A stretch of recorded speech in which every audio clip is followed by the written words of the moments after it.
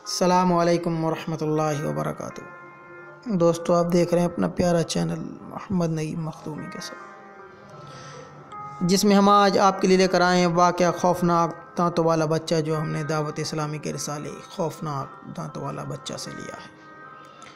باب المدینہ، کراچی کے ایک اسلامی بھائی دعوت اسلامی کے عالمی مدنی مرکز، فیضان مدینہ میں مجلس مکتوبات و تعویذات اتاریہ کے بستے پر اپنے چودہ سالہ بیٹے کے ساتھ تشریف لائے۔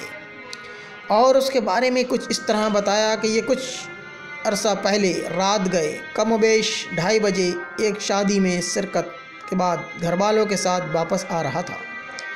راستے میں ایک ویران گلی میں درخت کے قریب سے گزرتے ہوئے یہ ایک دم گھبرا گیا اور بے حد خوف زدہ دکھائی دینے لگا۔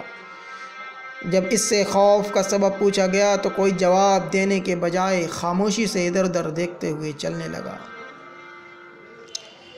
گھر پہنچ کر سب سو گئے مگر تھوڑی ہی دیر بعد ایک پراسرار چیخ کی آواز سے سب کی آنکھ کھل گئی۔ میری نگاہ فوراً اپنے بیٹے کے بستر کی طرف گئی تو وہ خالی تھا۔ گھر کے سارے کمرے دیکھے مگر میرا بیٹا نہ ملا۔ اس کی امی نے رونا شروع کر دیا۔ اچانک کسی نے توجہ دلائی کہ چھت پر تو دیکھو، اوپر پہنچے تو یہ چھت کے کنارے سر جھکائے بیٹھا تھا۔ میں نے فوراً اسے سنبھالا۔ یہ گمسم میرے ساتھ نیچے چلا آیا۔ اس کی حالت کی پیش نظر ہم نے کوئی سوال نہ کیا۔ تھوڑی دیر میں یہ سو گیا۔ بعد میں اس نے بتایا کہ میرے پاس جن آتا ہے جو اپنے ساتھ چلنے کو کہتا ہے۔ یہ اکثر تنہا چھت پر چلا جاتا، کھانا پینا بھی کم کر دیا اور زیادہ تر خاموش رہتا۔ ہم نے ڈاکٹروں کے علاوہ کئی عاملین کو بھی دکھایا مگر کوئی افاقہ نہ ہوا۔ ایک رات یہ بوکھلا کر اٹھ بیٹھا اور غصے کے عالم میں ادھر ادھر گھومنے لگا۔ اس کی سانس بہت تیز چل رہی تھی۔ گھر والوں نے سنبھالنے کی کوشش کی تو اس نے ہر ایک کو اٹھا اٹھا کر پھینکنا شروع کر دیا۔ نہ جانے اس میں اتنی طاقت کہاں سے آ گئی تھی۔ خود مجھے اس نے صرف ایک جھٹکے میں گرا دیا۔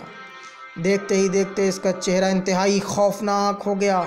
اور اوپر کے دو دانت باہر نکل آئے، جو انتہائی نوکیلے اور بھیانک تھے۔ یہ منظر دیکھ کر سارے گھر والوں کی چیخیں نکل گئیں کہ یہ کیا مصیبت آن پڑی۔ میں بھی انتہائی پریشان تھا، مگر کیا کرتا؟ جیسے تیسے رات گزری، صبح جب اذان فجر ہوئی، تو اس کی آواز پر اس کے خوفناک دانت اندر ہو گئے۔ اور یہ پرسکون ہو گیا، پھر سو گیا۔ اب تو یہ معمول بن گیا ہے کہ رات کے وقت اس کے دو خوفناک دانت نکل آتے ہیں اور ایک انجانی طاقت اس میں آ جاتی ہے۔ اس اسلامی بھائی نے اپنے بیٹے کے نچلے ہونٹ پر کالے کالے نشانات بھی دکھائے جو بار بار دانت نکلنے کے باعث بن چکے تھے۔ ہر جگہ سے مایوس ہو کر بڑی امید کے ساتھ آپ کے پاس حاضر ہوئے ہیں۔ یہ کہتے ہوئے وہ رونے لگے۔ تابعات کے بستے کے ذمہ دار اسلامی بھائی نے انہیں تسلی دیتے ہوئے کہا، اللہ عز و جل شفا دینے والا ہے، گھبرائیں نہیں۔ اور انہیں تابعات اور انہیں تابع اور انہیں تابعات اتاریہ دیے، جن میں سے کچھ بیٹے کو پہنانے تھے اور کچھ گھر میں لٹکانے کے لیے تھے۔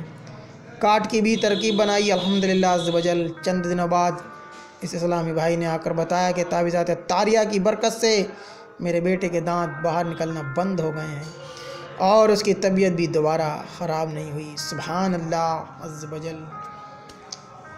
السلام عليكم ورحمة الله وبركاته.